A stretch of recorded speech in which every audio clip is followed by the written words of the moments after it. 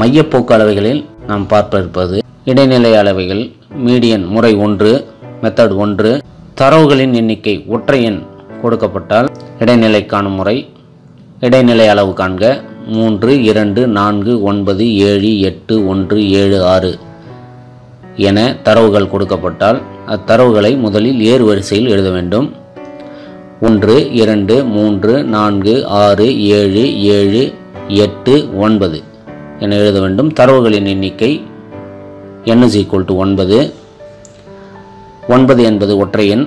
எனவே இடைநிலை அளவு is equal to n one வகுத்தல் இரண்டு. ஆவது உறுப்பு எண் ஒன்பது ப்ளஸ் ஒன்று வகுத்தல் இரண்டு.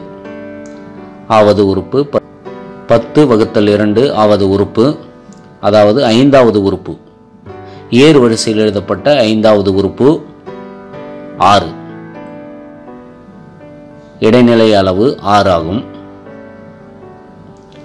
இடைநிலை அளவில் முறை இரண்டு மெத்தடு இரண்டு தரவுகளின் எண்ணிக்கை இரட்டைப்படை எனில். கொடுக்கப்பட்ட தரவுகள் மூன்று இரண்டு நான்கு ஒன்பது ஏழு எட்டு ஒன்று ஏழு ஆறு பதினொன்று. இவற்றின் இடைநிலை காணுதல். தரவுகளை ஏறுவரிசை எழுதுதல் வேண்டும். ஒன்று இரண்டு மூன்று நான்கு ஆறு ஏழு ஏழு எட்டு ஒன்பது பதினொன்று என எழுதிக் கொள்ளுதல். எண் என்பது தரவுகளின் எண்ணிக்கை. எண் என்பது இங்கு பத்து பத்து என்பது இரட்டை எண். இடைநிலை அளவு equal எண் வகுத்தல் இரண்டாவது உறுப்பு எண் வகுத்தல் இரண்டு ப்ளஸ் ஒன்றாவது உறுப்பு வகுத்தல் இரண்டு. எண் பத்து பத்து வகுத்தல் ரெண்டாவது உறுப்பு பத்து வகுத்தல் ரெண்டு ப்ளஸ் ஒன்றாவது உறுப்பு. அதாவது ஐந்தாவது உறுப்பு ப்ளஸ் ஆறாவது உறுப்பு வகுத்தல் இரண்டு. ஐந்தாவது உறுப்பு ஏறு வரிசையில் எழுதப்பட்ட உறுப்புகளில் ஆறு. ஆறாவது உறுப்பு ஏறு வரிசையில் எழுதப்பட்ட உறுப்பு ஏழு வகுத்தல் இரண்டு. ஆறையும் ஏழையும் கூட்டினால் பதிமூன்று. பதிமூன்று வகுத்தல் இரண்டு. இடைநிலை அளவு ஆறு புள்ளி ஐந்தாகும் இடைநிலை அளவில் முறை மூன்று. மெத்தட் மூன்று. பிரிவு இடைவெளி நிகழ்வெண் கொடுக்கப்பட்டால் நிக இடைநிலை அளவு காணுதல்.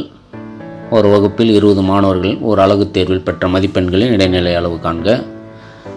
பெற்ற மதிப்பெண்கள் பிரிவு இடைவெளியில் ஜீரோ முதல் பத்து பத்து முதல் இருபது இருபது முதல் முப்பது முப்பது முதல் நாற்பது நாற்பது முதல் ஐம்பது.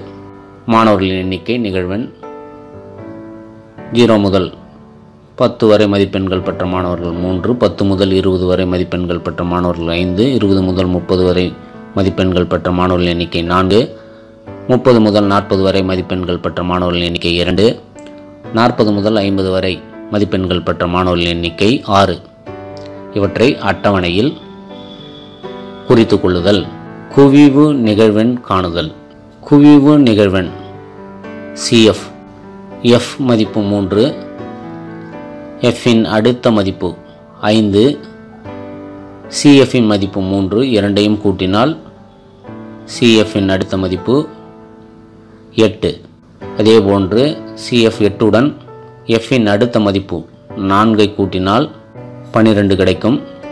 இது சிஎஃப்பில் குறித்து கொள்ளுதல். சிஎஃப்பில் உள்ள பனிரெண்டு மதிப்புடன் எஃப்பின் அடுத்த மதிப்பு இரண்டை கூட்டினால் பதினான்கு கிடைக்கும். அது சிஎஃப்பில் குறித்து கொள்ளுதல். சிஎஃப்பில் பதினான்கு மதிப்புடன் எஃப்பின் ஆறு மதிப்பை கூட்டினால் இருபது கிடைக்கும். அதை சிஎஃப்பில் குறித்து கொள்ளுதல் நிகழ்வெண்ணின் கூடுதல் சம்மேஷன் எஃப் இருபது. குவிவு நிகழ்வெண்ணின் கூடுதல் நிகழ்வெண்ணின் கூடுதல் இரண்டால் வகுத்தால் இருபது பை இரண்டு ஈக்குவல் டு பத்து. பத்து மதிப்பெண்ணை விட அதிகமாக உள்ள மதிப்பெண் குவிவு நிகழ்வெண்ணில் வட்டமிடுதல். பத்தை விட அதிகமாக உள்ள குவிவு நிகழ்வெண்ணில் பனிரெண்டு. அவ்வெண்ணை முழுவதும் வட்டமிட்டால் அவ்வரிசை முழுவதும் வட்டமிடுதல் வேண்டும். அவ்வரிசையில் பிரிவு இடைவெளியில் உள்ள முதல் மதிப்பு இருபது. அதை எல் என குறிக்கிறோம். அவ்வரிசையில் நிகழ்வெண்ணில் உள்ள மதிப்பு நான்கு சுமால் எஃப் என குறிக்கிறோம். அவ்வரிசையில் குவிவு நிகழ்வெண் பனிரெண்டுக்கு மேலே உள்ள எண் எட்டு. அதை கேபிட்டல் எஃப் என குறிக்கிறோம். பிரிவு இடைவெளியின் நீளம் பத்து முதல் பத்து மைனஸ் ஜீரோ பத்து சி என குறிக்கிறோம். இடைநிலை அளவு is equal to L plus N by two minus F வகுத்தல் ஸ்மால் எஃப் பெருக்கல் சி எல்லின் மதிப்பு இருபது எண்ணின் மதிப்பு இருபது வகுத்தல் இரண்டு மைனஸ் கேபிட்டல் எஃப்பின் மதிப்பு எட்டு வகுத்தல் ஸ்மால் எஃப்பின் மதிப்பு நான்கு பெருக்கல் சியின் மதிப்பு பத்து. என் பை டூ இதனுடைய வேல்யூ பத்து. பத்து மைனஸ் எட்டு இரண்டு. இரண்டு வகுத்தல் நான்கு ஜீரோ புள்ளி ஐந்து பெருக்கல் பத்து. இதன் மதிப்பு ஐந்து. இருபதுடன் ஐந்தை கூட்டினால் இருபத்தைந்து கிடைக்கும். கணக்கின் இடைநிலை அளவு இருபத்தி ஐந்து நன்றி.